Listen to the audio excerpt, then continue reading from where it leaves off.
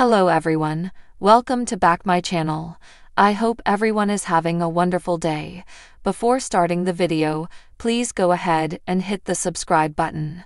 Kylie Jenner has been slammed online for what she did at her sister Khloe's huge birthday bash.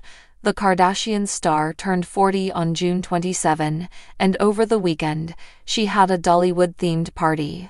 On Sunday, Kylie, 26, shared a nearly three minute long video on her TikTok and Instagram documenting Khloe's event. However, a few fans noticed the makeup mogul, her bestie Stassie Karanicolaou, and her sister Kim, 43, snacking on Kourtney Kardashian's supplement brand, Lemme Gummies. The girls took turns recording themselves chugging the tiny colorful vitamins from a bottle that read Lemme Wake the F asterisk asterisk cup. As noted on the bottle, the recommended dose is two gummies twice daily.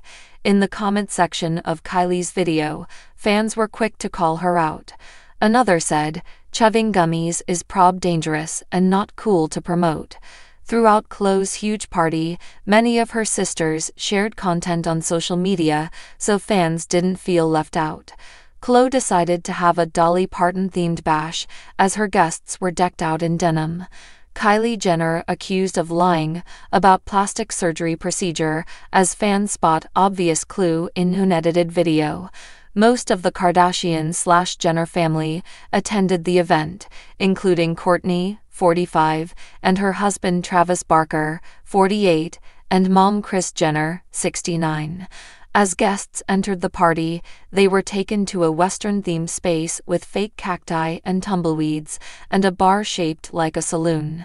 Partygoers got to ride a mechanical bull, view exotic dancers on stripper poles, dance with friends on a huge dance floor with a DJ, and even enjoy a performance by rap icon Snoop Dogg.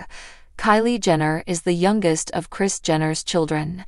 She is best known for starring alongside her sisters on the Kardashians' reality shows, while also being a model, socialite, and the founder of multiple businesses Kylie Cosmetics, Kylie Skin, Kylie Baby, and Kylie Swim.